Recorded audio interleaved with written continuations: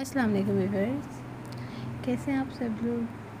उम्मीद है बिल्कुल ठीक होंगे, अल्हम्दुलिल्लाह, मैं भी बिल्कुल ठीक ठाक हूँ। आज हम जो रेसिपी आपसे शेयर करने जा रहे हैं, उसका नाम है चॉकलेट शेक चलिए शुरू करते हैं। इसके लिए हमें एक कप चीकू चाहिए होंगे। Half cup fresh cream. Fresh cream में हमने चॉकलेट ऐड की है। मेरी चॉकलेट फ्रीज़र में थी तो इसलिए थोड़ी हार्ड है।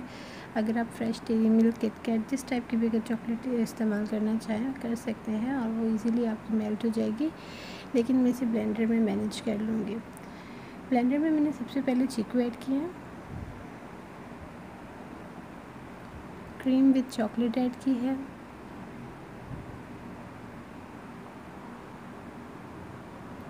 एक कप दूध।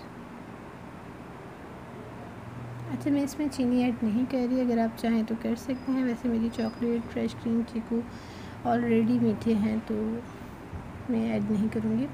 और मेरी चॉकलेट हार्ड है, इसलिए मैं इसे पाँच मिनट ब्लेंड करूँगी। अगर आपके पास फ्रेश चॉकलेट है तो आप उसे दो से तीन मिनट में भी वो स्मूथ हो जाएगा आपका शेक। और अब मेरा शेक भी बिल्कुल स्मूथ हो गया है। आई थिंक ये रेडी है सर्व करने के लिए।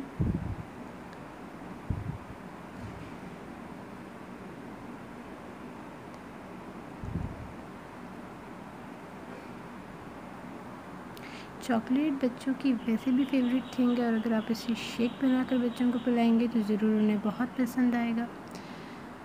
अमूमन बच्चे दूध से दूर भागते हैं तो अगर आप उन्हें चॉकलेट शेक या फिर मैंगो शेक बना कर देंगे तो ज़रूर पिएँगे।